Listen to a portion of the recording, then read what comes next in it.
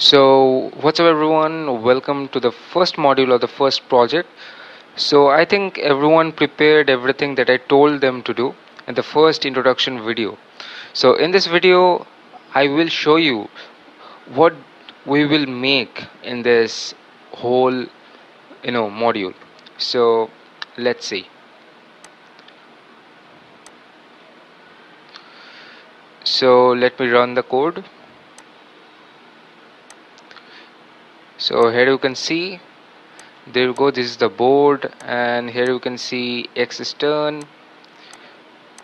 and the system is asking uh, us to choose a number from 1 to 9 why? Because you know if you want to give X whoever has taken X if you want to give X here you know then we will press 1 if you want to give here we will give 8 and like that so on right?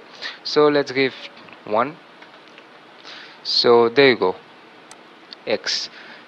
Now it's O's turn it's detecting automatically. It's really interesting to you know like it's it's like a real game. So uh, let's give it on 2 and next like this so on. If you do like this if we go on and uh, uh, 3 4 5 6 7 right? So like this if we go on doing see nobody won in this match so it's showing us it's a tie bro. So it's really interesting like it's feeling like we're talking with someone right so next rerun let's rerun the code and see if you if someone wins what it shows. So let's see if x wins what it shows. And uh, it's 5 7 so boom player who was playing with x on so it's it's feeling like we're talking with someone and it's a real game right?